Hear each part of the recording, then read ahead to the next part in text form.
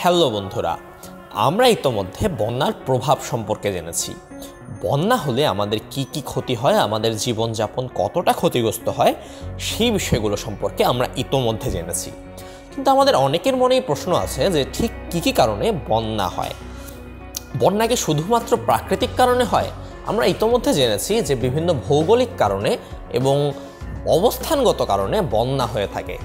তার মধ্যে একটি হচ্ছে, এটি আমাদের জন্য খুবই গুরুত্বপূর্ণ। আমরা ইতোমধ্যে বলেছিলাম যে আমরা ভৌগোলিকভাবে অত্যন্ত দুর্যোগ প্রবণ অ- দুর্যোগ প্রবণ অঞ্চলে বসবাস করছি এবং এর কারণটিতে আমরা বছরের নানা সময় বিভিন্ন প্রাকৃতিক দুর্যোগের সম্মুখীন হতে হয়। কিন্তু শুধুই কি ভৌগোলিক কারণই বন্যার একমাত্র কারণ? মোটেও না। বন্যার জন্য আরও অনেকগুলো, বন্যার প্রকোপ কমানোর জন্য আমরা আরও অনেকগুলো কাজ করতে পারি, যেটি আমরা করি না বলেই বন্যার প্রকোপ বেড়ে যায়। এখানে তোমরা চারটি ছবি দেখতে পাচ্ছ। প্রথম ছবিতে গাছ কাটার দৃশ্য দেখতে পাচ্ছ। দ্বিতীয় ছবিতে অতিরিক্ত বৃষ্টির কারণে নদীর পানির বেড়ে যাওয়া দেখতে পাচ্ছ। এবং তৃতীয় ছবিতে তোমরা যেখানে সেখানে রাস্তা, ঘরবাড়ি বা বাঁধ তৈরি করার মতো বিষয় দেখতে পাচ্ছ। এবং সর্বশেষ ছবিতে তোমরা নদীর পানি বেড়ে যাওয়া দেখতে পাচ্ছ। এই প্রত্যেকটি জিনিস কিন্তু একটি আরেকটির সাথে সম্পর্কযুক্ত। এখন তোমরা ভাবতে পারছ কীভাবে? আসো আমরা উত্তরটি জেনে নিই। বন্যার কারণ।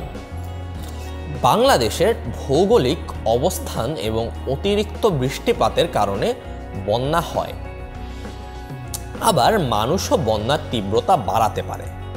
যেমন, গাছ কেটে ফেলা, যেখানে সেখানে অপরিকল্পিতভাবে রাস্তাঘাট, বাঁধ, বাসস্থান এগুলো তৈরি করা এবং এগুলো তৈরি করার ফলে বর্ষার পানি বেড়ে অনেক জলাবদ্ধতা সৃষ্টি হতে পারে এবং যে জলাবদ্ধতার ফলে বন্যার পানি সহজে নামতে পারে না এবং ফলে সহজেই বন্যা দেখা দেয় এবং যার কারণটিতে আমরা অনেক বন্যার প্রকোপ অনেক বেশি বেড়ে যায়। সুতরাং আমরা নিজেরা চাইলেই বন্যার প্রকোপ কিছুটা কমাতে পারি। এইখান থেকে আমরা যেই যেই বিষয়গুলো জানলাম, সেটি হচ্ছে বন্যার একটি অন্যতম কারণ হচ্ছে ভৌগোলিক অবস্থান।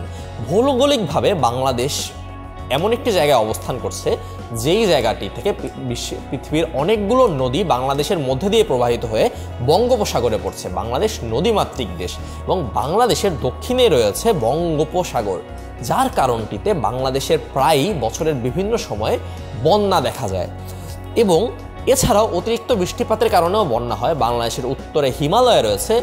সেই হিমালয়ে এর প্রভাবে এবং বঙ্গোপসাগরের মৌসুমি বাহির বায়ুর প্রভাবে বাংলাদেশে বছরের অনেকটা সময় বৃষ্টিপাত হয়।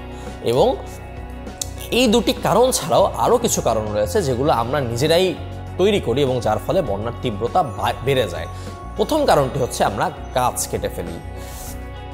আমাদের জীবনযাপনের বিভিন্ন প্রয়োজন মেটানোর জন্য আমাদের কাঠের প্রয়োজন হয়। যেই প্রয়োজন আমরা মেটাই গাছ থেকে। কিন্তু গাছ কাটার সময় যখন আমরা অপরিকল্পিতভাবে গাছ কাটি, তখন আমরা এটি চিন্তা করি না যে গাছ বন্যার তীব্রতা কমাতে অত্যন্ত গুরুত্বপূর্ণ ভূমিকা পালন করে। এছাড়াও গাছ মাটিকে শক্তভাবে আঁকড়ে রাখে দেখেই মাটি সহজে উপড়ে যেতে পারে না বন্যার সময়। যেহেতু গাছের অত্যন্ত বড় ভূমিকা রয়েছে বন্যা আটকাতে, বন্যার তীব্রতা কমাতে, সুতরাং আমাদের সকলেরই উচিত আরও বেশি গাছ লাগানো এবং বন্যাপ্রবণ এলাকাতে বড় বড় বৃক্ষ রোপণ করে, যেগুলো অনেক বর্ধনশীল, তার ফলশ্রুতিতে আমরা বন্যার প্রকোপ, বন্যার যে তীব্র স্রোত আমরা দেখতে পাই, সেটি অনেকাংশে কমাতে পারি এবং এছাড়াও এটি বন্যা প্রতিরোধ করতেও গুরুত্বপূর্ণ ভূমিকা পালন করে। এছাড়াও আমরা রাস্তাঘাট, ঘরবাড়ি বা বাঁধ অপরিকল্পিতভাবে তৈরি করে কোনো স্থানে পানি জলাবদ্ধ করে রাখব না। যদি এরকমটি হয়, তার ফলশ্রুতিতে সেইখান থেকে পানি অন্য স্থানে চলে যেতে পারে না এবং পানি জমাট বেঁধে যায়, যার ফলে বন্যার পানি সহজে নেমে যেতে পারে না। যার কারণটিতে বন্যা অনেক দিন স্থায়ী হয়।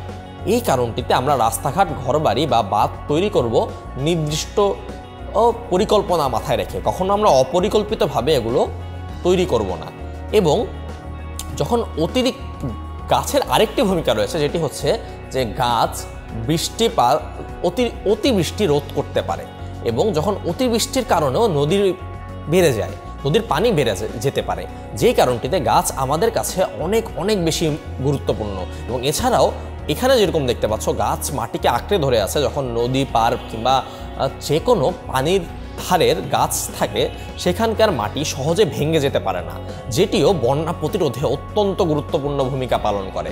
এই কারণটিতে গাছ আমাদের কাছে অত্যন্ত গুরুত্বপূর্ণ এবং এছাড়াও আরও যেই বিষয়গুলো গুরুত্বপূর্ণ হিসেবে আমরা জানলাম, অপরিকল্পিতভাবে ঘরবাড়ি তৈরি না করা, বাঁধ তৈরি না করা, আমরা চেষ্টা করব সেই বিষয়গুলো মাথায় রেখে আমাদের ঘরবাড়ি, বাঁধ নির্মাণ করতে এবং গাছ লাগাতে। সুতরাং আমরা যেরকম ভৌগোলিক কারণও বন্যার পেছনে কাজ করছে, ঠিক সেরকম আমাদের নিজেদেরও কিছু কাজ রয়েছে, যেই কাজগুলোর মাধ্যমে আমরা বন্যার তীব্রতা কমাতে পারি। সুতরাং আমরা এই বিষয়গুলো সবসময় মনে রাখব। আজ আমরা বন্যার কারণ জানলাম, পরবর্তীতে আমরা বন্যা হলে সেটি কীভাবে মোকাবেলা করতে হয়, সেটি পরবর্তী পাঠে জানতে পারব। আজ এ পর্যন্তই, দেখা হচ্ছে পরবর্তী ভিডিওতে।